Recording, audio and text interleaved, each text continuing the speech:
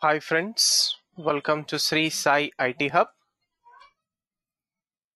In this video of Core Java Programming, we are going to discuss the following topics. ArrayList class with generic collections in Java Collections Framework.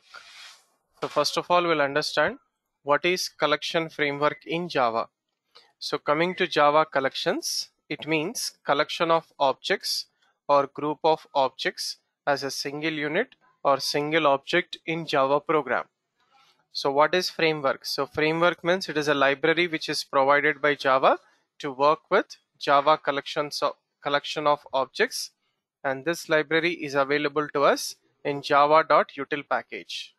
So in collections framework we have collection interface which is a top level interface or base interface for different classes and interfaces which are available in Java collections framework.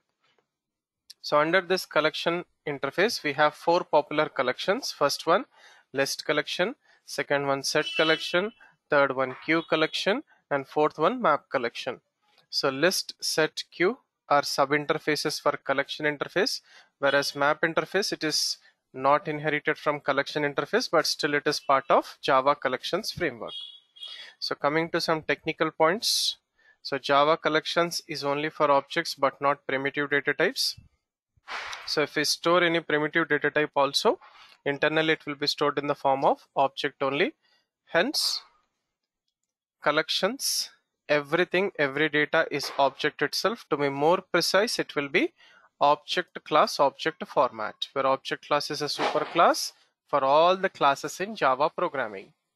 So now coming to ArrayList class with generic collections.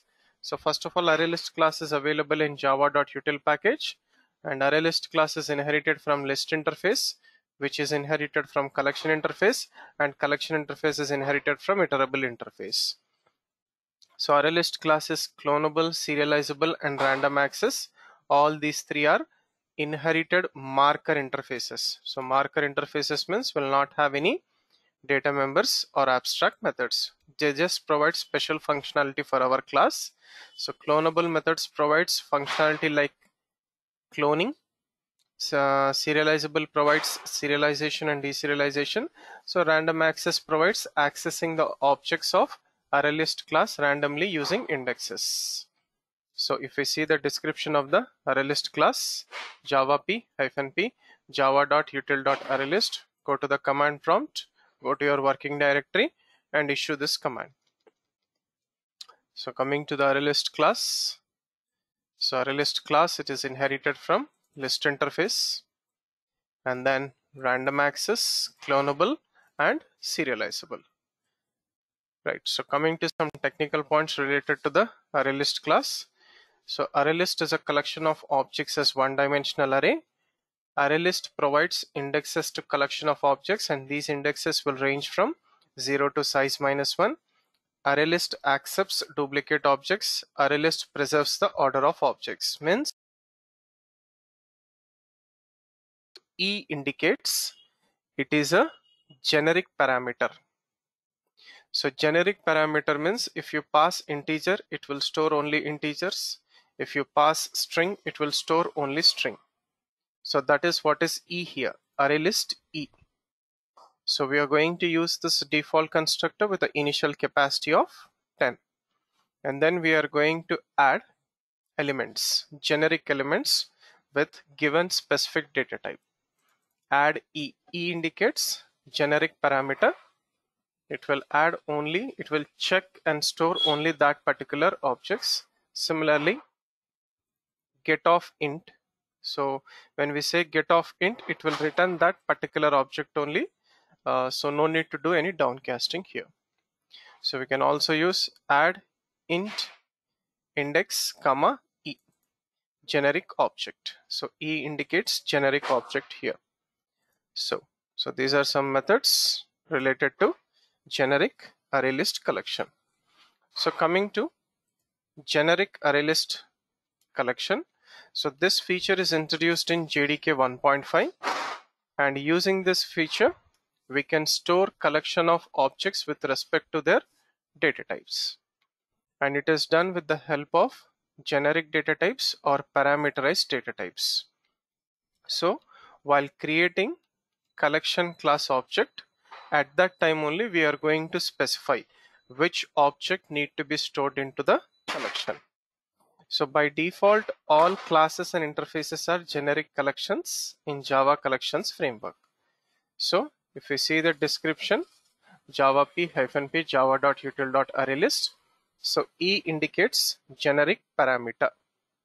It is a generic parameter E. So how to create the objects? It's very simple here. ArrayList followed by diamond operator. Okay so this is called as less than and the greater symbol greater than symbol is called as diamond operator so using diamond operator we are going to pass the generic parameter. Array list with integers.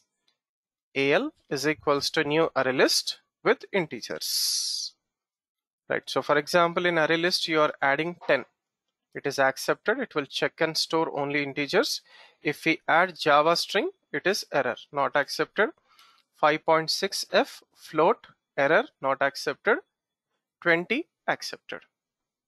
So check and store. It will check for integers and store that in the array list. And when we access we don't require downcasting. For example array list dot get of 0 it will directly return 10 so we can store that in x. No need to do downcasting. Similarly array list dot get of when it will directly return 20 so we can directly store that in integer variable y. So here we don't require this integer downcasting. Basically it will store in object class object format but here in generic collections it is not required. Right, so the advantages of collections is checked collections and type safe collections and whenever we are storing it performs auto boxing automatically and whenever we are accessing the data JVM perform auto unboxing automatically. So these are advantages of generic collections. So let us try to demonstrate this with a small program. ArrayList class example 9.java. So take a new page. First we'll write the comments program to demo ArrayList class with generic collections. Import java.util package. Take the main class with main method and save this program in your working directory.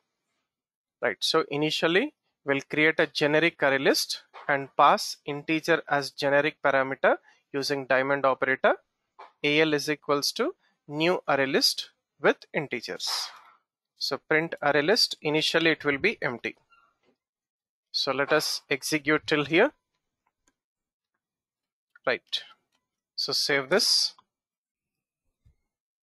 Come to the command prompt. So java c. So array list class example 9.java. No error. Now if we see here, we are also not getting uh, unchecked and unsafe collection. So for example, if we remove this generic parameter integer and compile it, save, recompile, we'll get the warning. Okay right so we'll get a warning generally uh, when we try to add anything into the array list okay so let us try to add some data here. Right. So save it. Right recompile. So we got a note warning saying that we are using unchecked and unsafe operations. Means without checking we are storing 10 and without checking we are accessing all those values. But if we use integer as generic parameter. Then that error is gone. So after that we are adding 10 it will check and store 10 and then 20 30 print array list save it. Recompile. So that warning is gone. It is not an error. Warning. So run it. 10 20 30 0 1 2 indexes so now let us try to put java. We'll get a error. Recompile. So incompatible types. String cannot be converted to integer. So reason is we are specifying generic parameter integer so it will accept only integers into the array list collection. So similarly if we add 1.5 or true then also we'll get the error incompatible types incompatible types for 1.5 true. Floating value boolean value. Right. So check and store only integers and then when we are accessing no need to do downcasting. Right so let us add few more objects in between. Arraylist dot add index 1 40 index 2 50 print arraylist save recompile and run. So first index 40 second index 50 third index fourth index zeroth index 10 right so after that we will access without downcasting. Right so arraylist dot get of 0 10 so when we are accessing 10 generally it will be in object class object format but here it will be stored as integer object so no need to do downcasting we have already mentioned while creating the object that we are going to store only integers. So when you are storing only integers, when you are accessing integer, it will return only integer. Store that in X, Y and print it. So this is what is all about ArrayList class with generic collections in Java collections framework.